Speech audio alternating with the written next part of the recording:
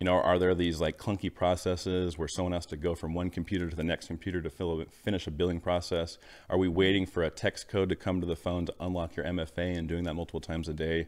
Right? Are we seeing users not maximize their screen or, or using keyboard shortcuts on their device? So if you can observe these users, you really kind of figure out, okay, what can you do to help make them better, right? Can you provide them education on how to use these tools more efficiently so that they can operate more you know, for the business owners, they want to get more work done with these really fancy tools and machines. I mean, instead of just like typing and moving the mouse around, there's computer scientists and computer programmers I know that will never take their hand off the keyboard and they can literally fly through a computer and their applications just with keyboard shortcuts. So there's a level of efficiency with I definitely computing. am not there yet, like at all. And I, and I uh, feel really deficient right now.